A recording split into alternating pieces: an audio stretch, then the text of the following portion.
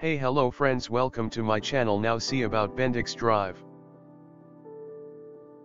Hello friends we see in previous video about engine starting system in that starter motor is very important to start the engine but how it rotates the crankshaft when we do like that in the line diagram gear teeth will damaged so we need to do two things. One is to increase the lifetime of the starting system and improve the smooth starting so the Bendix drive is used to prevent the teeth damage. Solenoid switch is used for pre-engagement Bendix drive uses inertia to deliver rotary motion of Starter motor to the ring gear of the crankshaft The Bendix system places the starter drive pinion on a helical drive spring.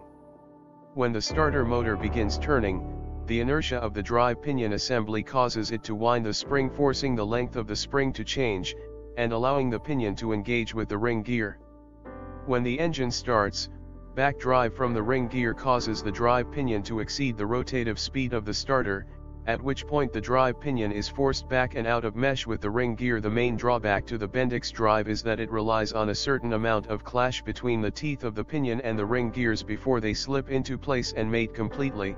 The teeth of the pinion are already spinning when they come into contact with the static ring gear, and unless they happen to align perfectly at the moment they engage, the pinion teeth will strike the teeth of the ring gear side to side rather than face to face, and continue to rotate until both align this increases wear on both sets of teeth. For this reason the Bendix drive has been largely superseded in starter motor.